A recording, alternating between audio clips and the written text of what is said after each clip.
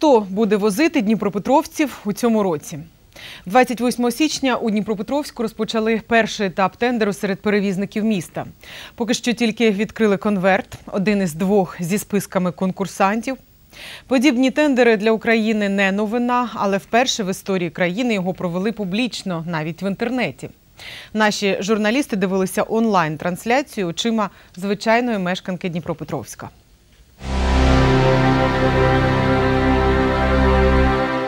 Департамент транспорту та зв'язку Дніпропетровської міської ради з перевезення пасажирів на міських автобусних маршрутах загального користування в Дніпропетровську провів тендер серед перевізників міста. Всього до конкурсу допустили 11 перевізників. За дорученням керівника області Валентина Резніченко дані вказівки всім структурним підрозділам облдержадміністрації та підпорядкованим їм структурам все проводити в відкритому режимі.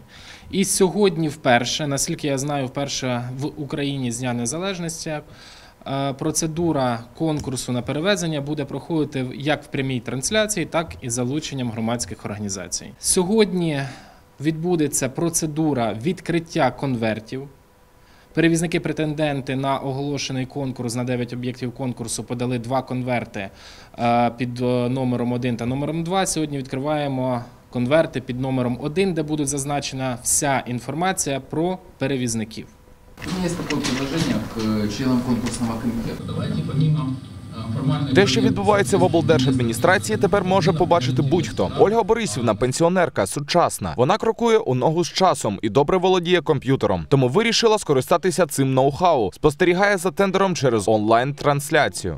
Конкурсная комиссия тендерная, я так понимаю, открывает конверты и проверяет, все ли документы есть у пред- предоставленные перевозчикам. В конверте присланы документы для претендента на перевозчики. Поэтому они открывают и смотрят, э, все ли документы предоставлены,